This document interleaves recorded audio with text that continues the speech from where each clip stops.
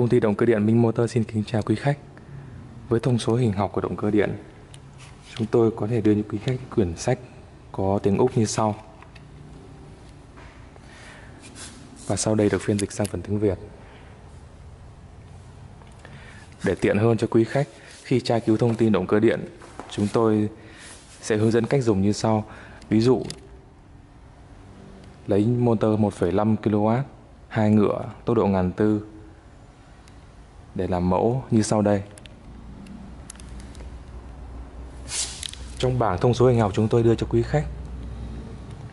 Quý khách có thể tra vào cổ tốc độ motor ngàn tư.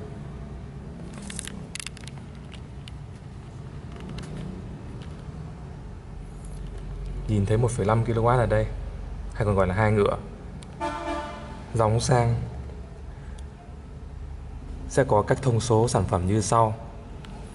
Thông số đầu tiên là Tâm lỗ đế ngang trục, được ký hiệu là A 140 mm.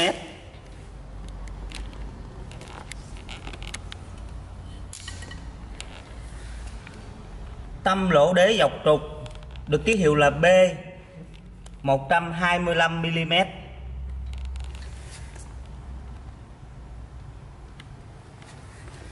Đường kính trục, được ký hiệu là D 24 mm.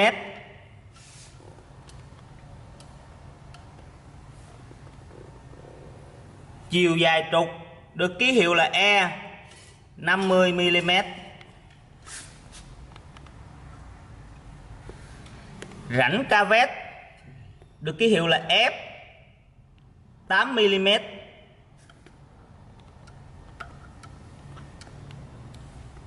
Chiều cao tâm trục được ký hiệu là H 90 mm.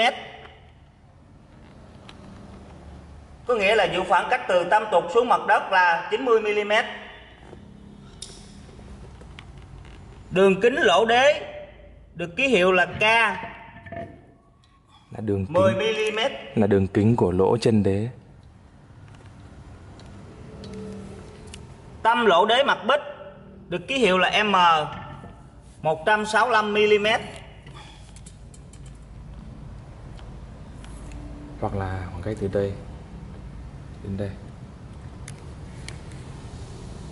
Đường đường kính vành định vị được ký hiệu là N 130 mm.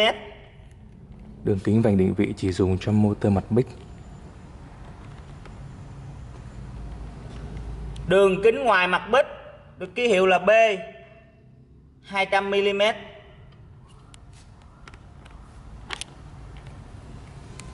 Đường kính lỗ mặt bích, ký hiệu là F 12 mm.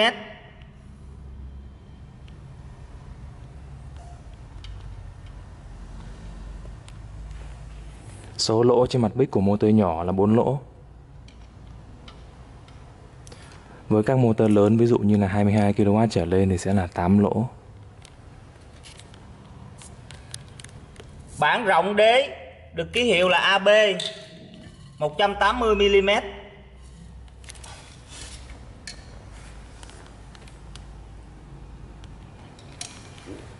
Đường kính thân motor được ký hiệu là AC 175 mm.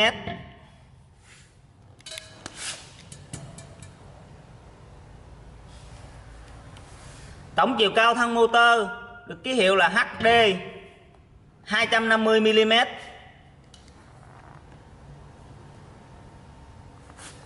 Tổng chiều dài thân motor được ký hiệu là L 345 mm.